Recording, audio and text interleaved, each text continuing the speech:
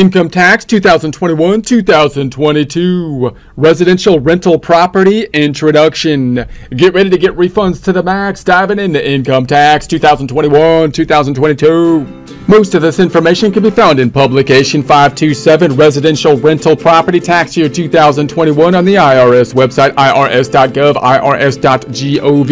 Income tax formula line 1 income, although we would have a subschedule, basically an income statement with income and expenses. Expenses basically being deductions. The net then is what rolls in to line 1 income of the income tax formula, as well as page 1 eventually of the form 1040.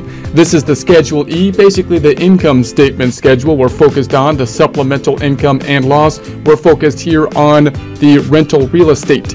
So we're introduction do you own a second house that you rent out all the time? Do you own a vacation home that you rent out when you or your family isn't using it? These are two common types of residential rental activities discussed in this publication. In most cases, all rental income must be reported on your tax return, but there are differences in the expenses you are allowed to deduct and the way the rental activity is reported on your tax return. Real estate has a lot of added complications with regards to income taxes that we need to consider. Just to list a few of them here, one would be the categorization of the real estate. Is the real estate used for personal use or is the real estate used for business use or rental use? This is important because with income taxes, the natural things that we would expect to be able to deduct for them are those expenses that we incurred in order to generate the revenue, the income tax therefore being applied not to gross income, the top line, but to the net income. So if something is set up as a business, if you had to expend money to generate revenue, those are the expenses we would naturally expect to be able to deduct.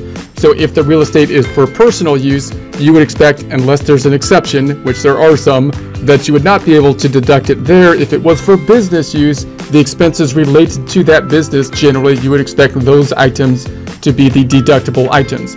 Just like with any other kind of business, when you commingle those things, which is common in real estate because you might be using the property for both personal and business use, then the question is, well, how are we going to divvy up the expenses? For example, how can we treat the expenses that are used for the generation of revenue versus those that are not?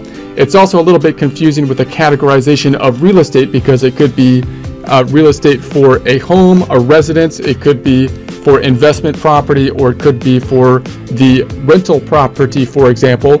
And we know that when we have it categorized as, say, a home, then we have an exception to the general rule of expenses only typically being deductible if they were used in order to generate revenue.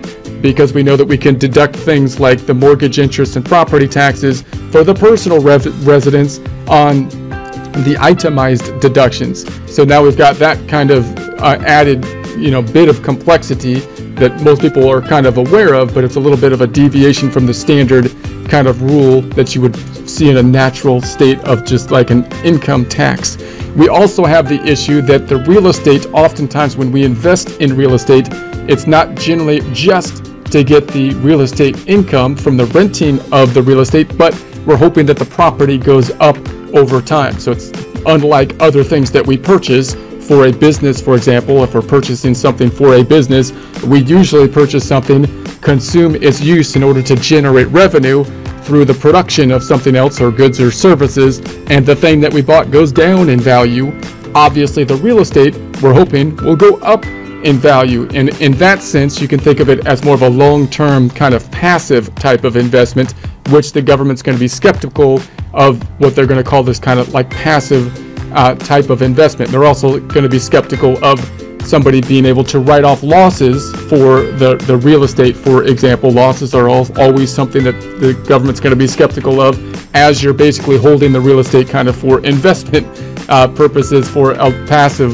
long-term uh, kind of income. So we end up with uh, issues with regards to whether or not, for example, losses uh, might be a, a deductible a deductible component, and the the concept of basically having the rental property uh, that you can that you can put on the books and write off deductions and contrasting that to the long-term possibly increase in the value of the property is something to consider just from an investment uh, perspective. So those are just a few things that kind of make the rental property a bit more complicated for the taxes to actually calculate the taxes, as well as you got to take those things into consideration, of course, when investing in, say, real estate property and know what your goals are for the real estate property.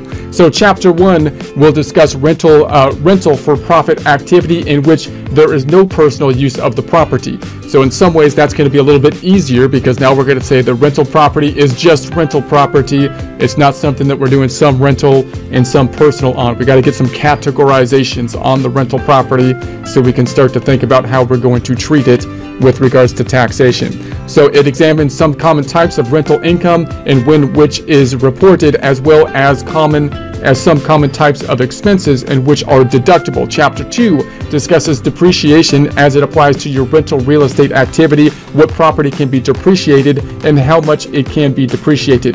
Depreciation is going to be a form of expense that of course gets a bit complicated as well because you got to follow the rules for the tax code as to uh, how you can depreciate the property, how long you can depreciate it over, and again, the depreciation gets more complex when the property is mixed between you know personal and business use, for example.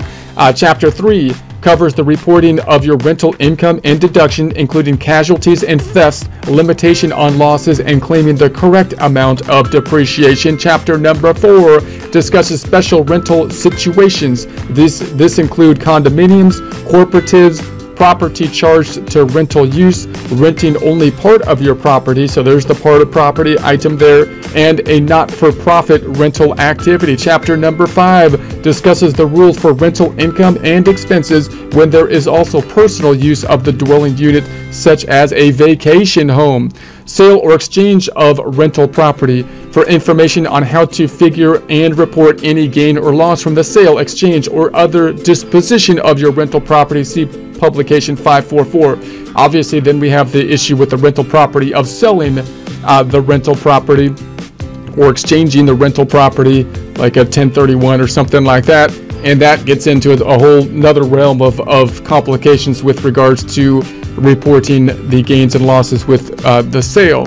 So sale of in, sale of main home used as rental property for information on how to figure and report any gain or loss from the sale of other dispositions of your main home that you also use as rental property. See publication 53523. So if you had your own home that you use part of it for rental property, that that causes complications for the sales item the, when you sell the home because now you might have depreciated like part of the property and so really kind of like part of the property uh, was being used as basically rental property as opposed to the principal residence and so you got to have questions with regards to how you're going to allocate that out. And then of course when you think about exemptions with regards to selling the home and you were using part of it for rental those are all kind of questions that, that come up with that situation and you can take a look again at publication 523 for more detail there.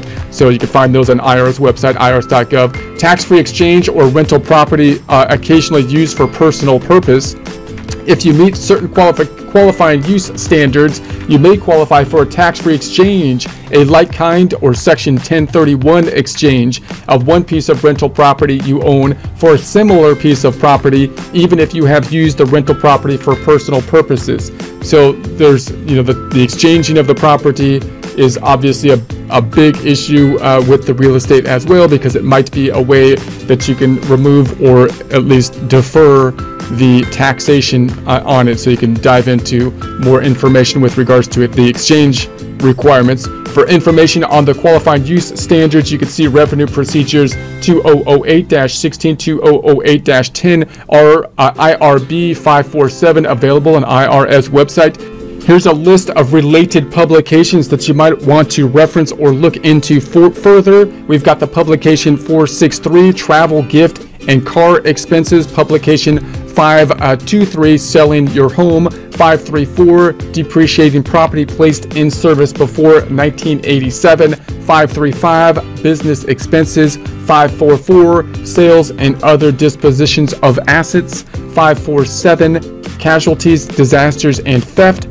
551 Business uh, Basis of Assets, 925 Passive Activity and At Risk Rules, 946 How to, to Depreciate Property, And these are going to be forms and instructions you might want to look into further as well. You can find these on the IRS website. The 461 excess business loss limitation, the 4562 depreciation and amortization, 5213 election to postpone determination as to whether the presumption applies that an activity is engaged in for profit. 8582 passive activity loss limitation 8960 to us 8960 net investment income tax individuals estates and trusts schedule E supplemental income and loss